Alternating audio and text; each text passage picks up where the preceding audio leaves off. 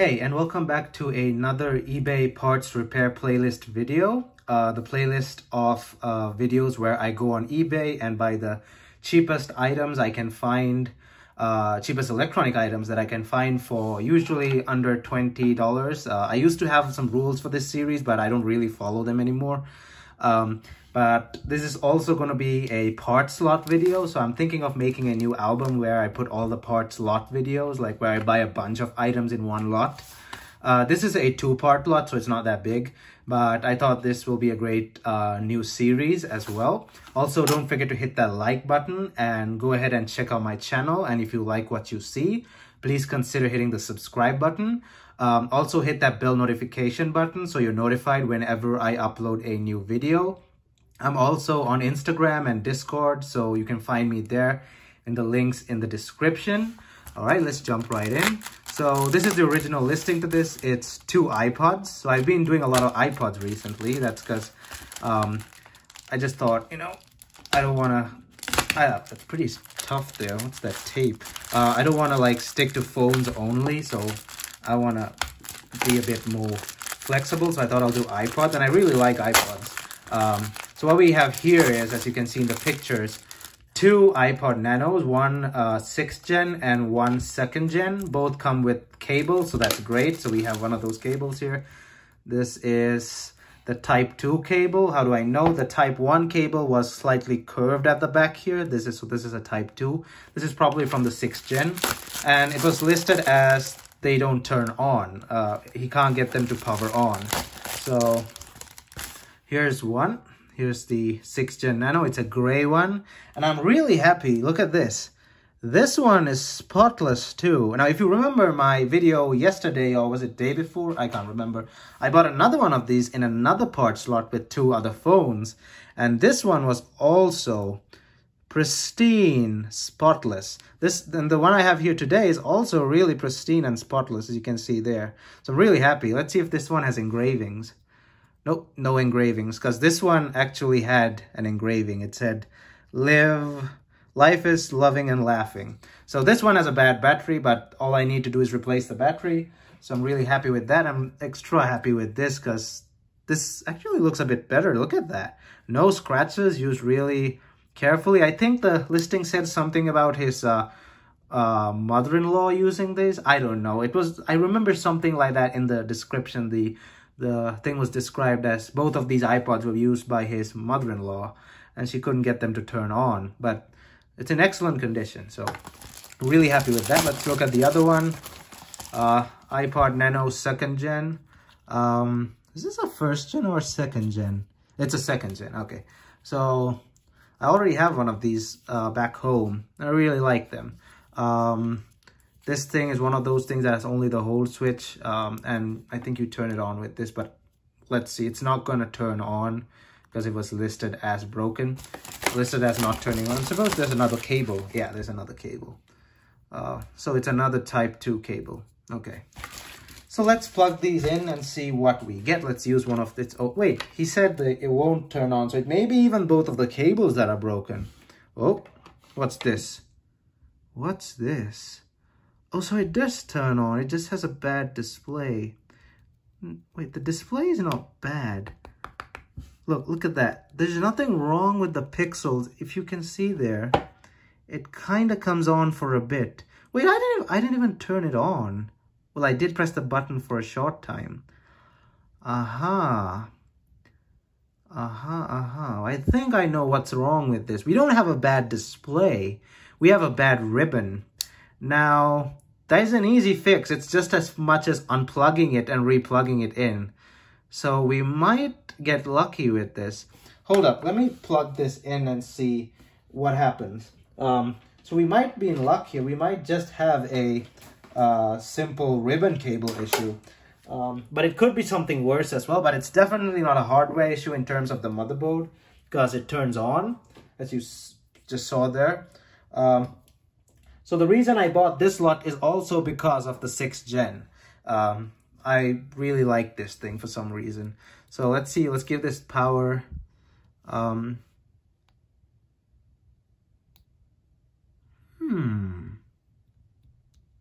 What if this is just a software issue? Okay, I think that this might actually be a software issue instead of a hardware issue. So we'll try and reset that in a bit. It might even have a good battery. We'll try and reset that in a bit. Uh, but let's plug this one in. This one I'm pretty sure has a short battery or something. Um, I hate opening these old second gens because you got to pull the internals out from the bottom here. They're pretty annoying. They're really annoying. I don't know if you can hear that, but it's on. Let me bring that closer. So I think we have a shot display. I think we have a bad display. Yeah, this this thing is on. This thing is on. Okay, so we have we have good motherboards that's because they're turning on. So what we're gonna do is let me go get my laptop and let's try restoring these two and maybe that might even fix them. So this is probably gonna be a pretty short video if that's the case. All right, hold up. Okay, so I have my laptop set up there. Let's go ahead and plug this guy in. Um, I'm not sure if I'll have to take it apart, but let's just let's just hope that it's a software only issue. Because I saw the display works at some points when you give it some touch. There we go. There, it says connected. Bob Carroll's iPod. Okay. Um,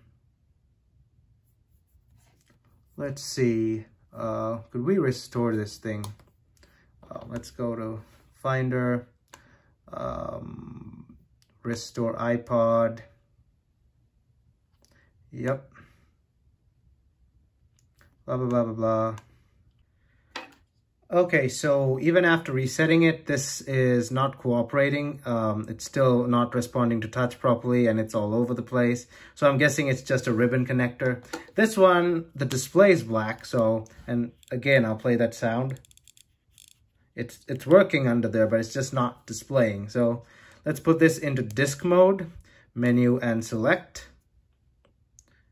Now the problem here is I don't know when to change my fingers. I'm roughly guessing it's eight seconds. So I don't know. It, there's nothing showing on screen to show me that it's in disk mode. So I'm kind of eyeballing it there because you hold the menu and the select button for eight, about eight seconds and then you switch to the select and play pause button. Um, I can't tell without seeing the screen when it switches over. So it's going to be a bit hard with this one. So I plugged it in. Let's see what happens. Um, nothing for now. Maybe it's restarting. Let's see what happens. Um, yep, it came up again. So it's the same person. So this, it's from the same person. So this is probably her older iPod and the other one's a newer one. So let's restore this thing as well. Um, I don't think restoring it is going to fix it, but you know, let's just see. But we're going to have to probably take this one apart as well. So it's going to be a bit of a lengthy video. Um, so I'll just go ahead and restore this off camera and um, I will be right back. So restoring it didn't fix it, obviously. As you can see here, there's nothing on screen. Um, so let's go ahead and take this one apart first and then this one. All right.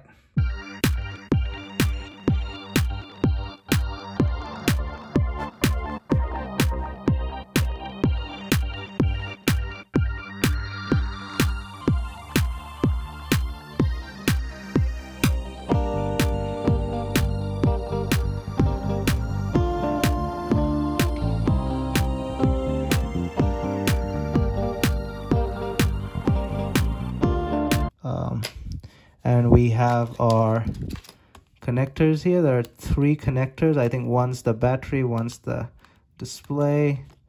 Um no two display one battery.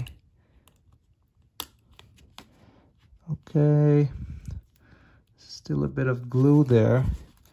Um you gotta be very careful with this.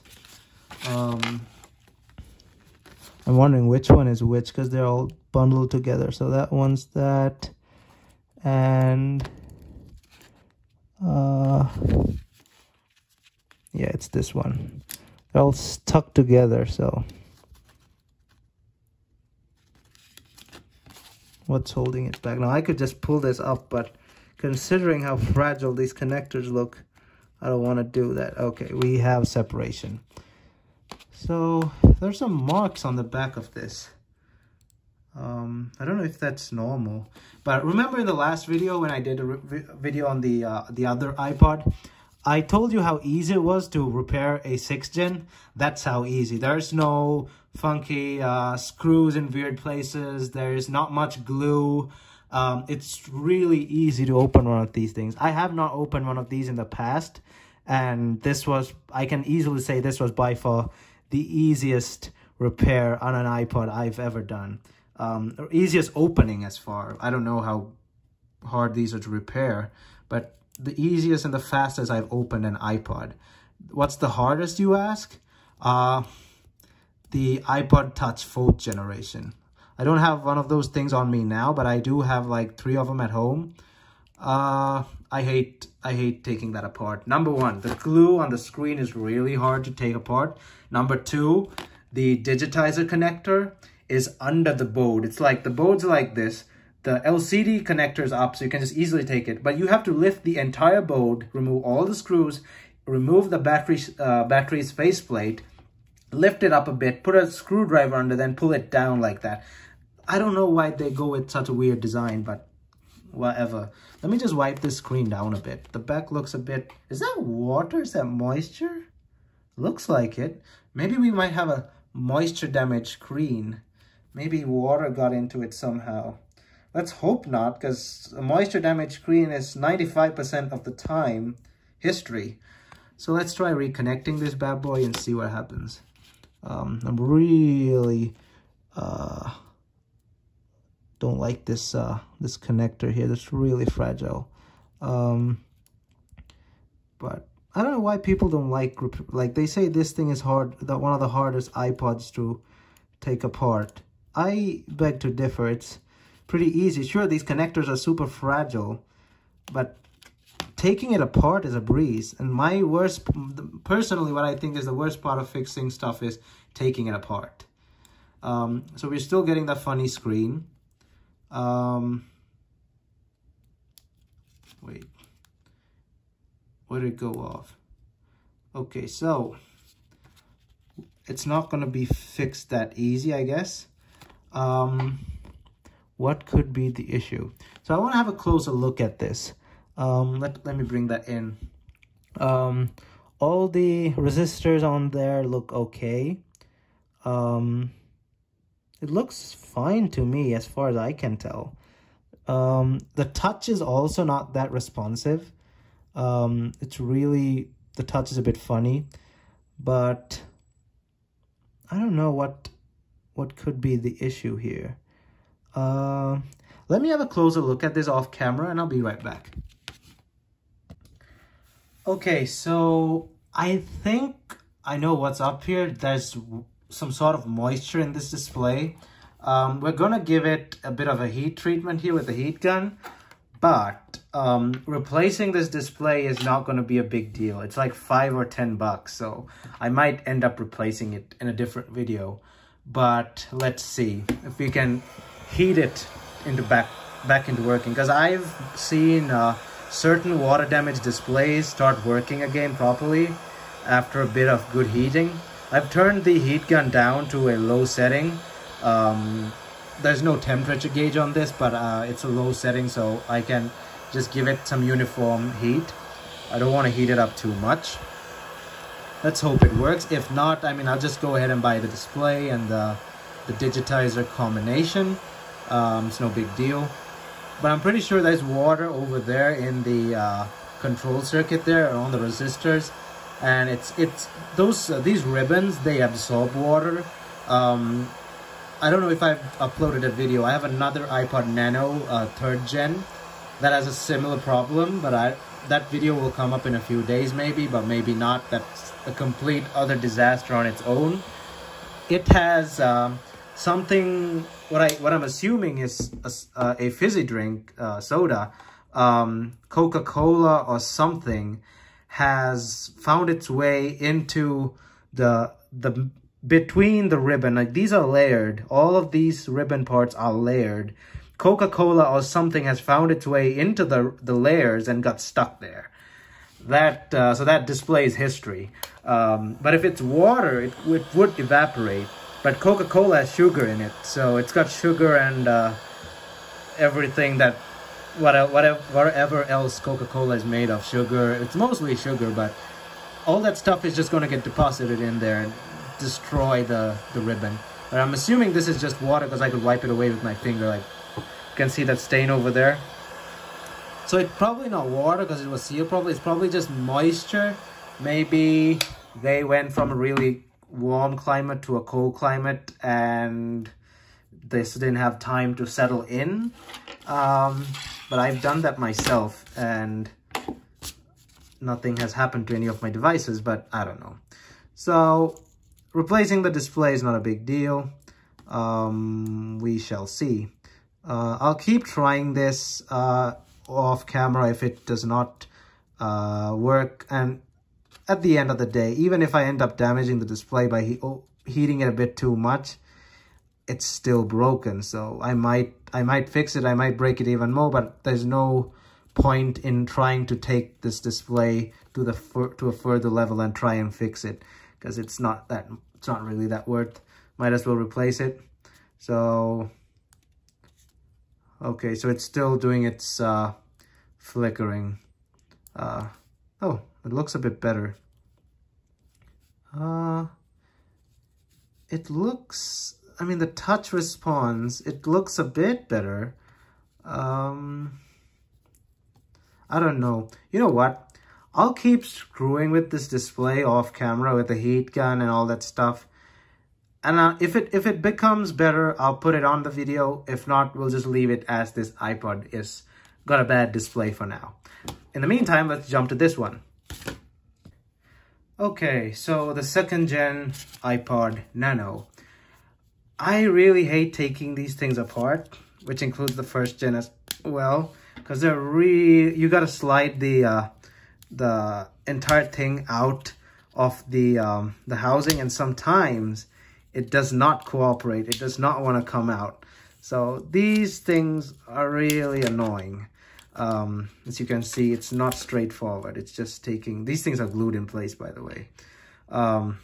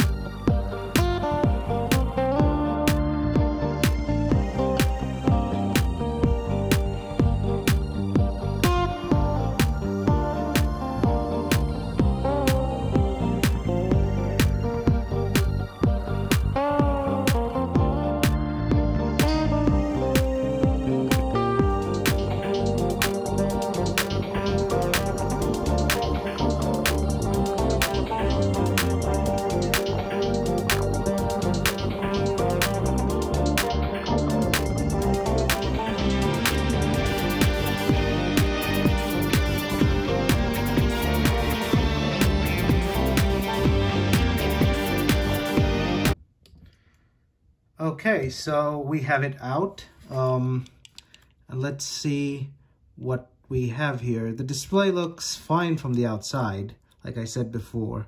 Um, and now this is what I hate about some of these iPods is we don't have access to the click wheel and any of the actual controls. So that's a bit annoying, but we shall see. Um, we know that battery supplying power because it worked off the uh, charger. Um, let's take that charger again, plug it in, see what happens. Um, just to double check. So let's plug that in.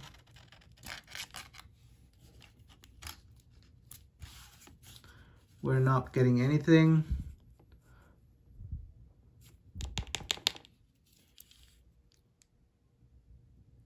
Could it be a bad control? Hold up. Um, the board looks fine. I don't see any blown uh, resistors or anything like that. So we'll have to dig a bit deeper here. This thing keeps hanging off the side, which kind of annoys me. Um, so I remember, take it out from the side like that. It's attached to this, so you got to be careful with that. Um, so let's get the display off here. It's stuck to the battery, so I might want to just dis like detach it. So let's get rid of this shielding.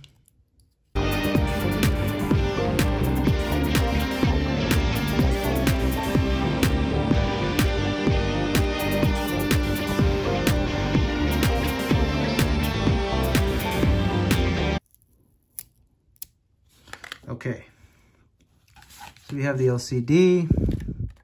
Um, let's unplug it.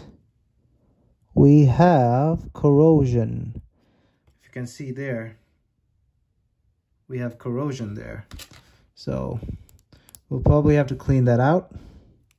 Is this a pull tab or is this a pop up one? Oh, it's pop up, okay. So we have a lot of corrosion there.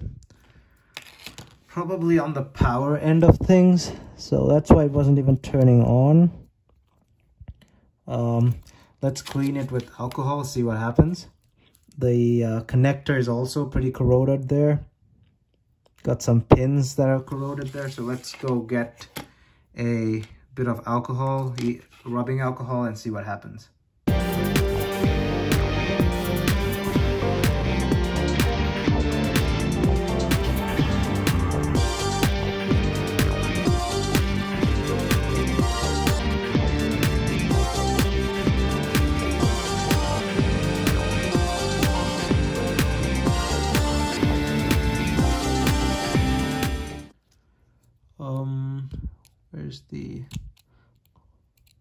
Which which side is hold which side is uh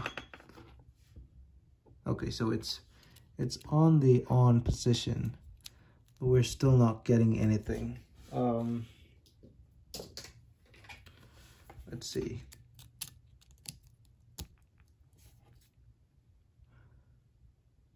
So I know the thing is on because when we plugged in the click wheel it did turn it did make some sounds so we're not getting anything from this display. What I'm pretty sure is that line that's got the corrosion on it is the power line. So it's not supplying power to the display. So yeah, it's not, not really promising. Um, there's nothing much that I can do for this um, apart from cleaning it. Um, I'm not, I've never reflowed a connector like this. I don't think I can. I think the display is fine now. Yeah, the display is fine. It's just the, uh, the connector that's damaged. Um, there's a lot of that stuff there. So what I'll do is, um, let me get a needle, hold up. So I couldn't find a needle, but this is the next best thing. Um, what I see, I don't know if that's coming under, or coming on camera there. There's a lot of that stuff under these pins as well, like over there. But I don't think I can get to it, even with an, if I had a needle. Um, let's see, come on. Let's just, because the what, what happens is the green stuff, when it solidifies, it, I don't think it conducts electricity or it shorts out the uh, connectors. So it's not letting the connectors on the display touch the touch where it's supposed to touch. So that's what's happening there. Oh, it's just, yeah, I think that um, that's completely fried, that connector there. Yeah, that's shot anyway i won't spend too much time on this. Um, i'll deal with this in my uh, free time. Maybe i might get it to work maybe not. I don't know. But for now it's broken. So i'll go back and i'll try and mess around with the nano the ipod nano um, off camera and i'll let you know if i get any results. So I'm having a bit of success with heating the display um, continuously. It's not, it's no longer like, um, it, it is responding to touch and it's no longer flickering. Um, and it just like, it just uh, stays like that. And it, it does respond to touch, but it occasionally flickers like that. But it's getting a bit better because uh, I was able to get into settings and check some stuff out as well. So I'll keep trying that. So I tried a bit more and it's not getting, sometimes it gets worse, sometimes it gets better, I don't know. Uh, it's probably just water damage or something that I can't fix. So I just, I'll go, I'll just go ahead and buy a new display. It's like 10 bucks or something, so it's no big deal. I'll probably make a video on that, I'm not sure, but it's pretty straightforward. Just plug it in and put the uh, adhesive back. So yeah, I guess that's it for this video. Thanks for watching and I hope you enjoyed it. Don't forget to hit that like button and check out my channel. And if you like what you see, please consider hitting that subscribe button. Thumbs up and I'll see you guys in my next video.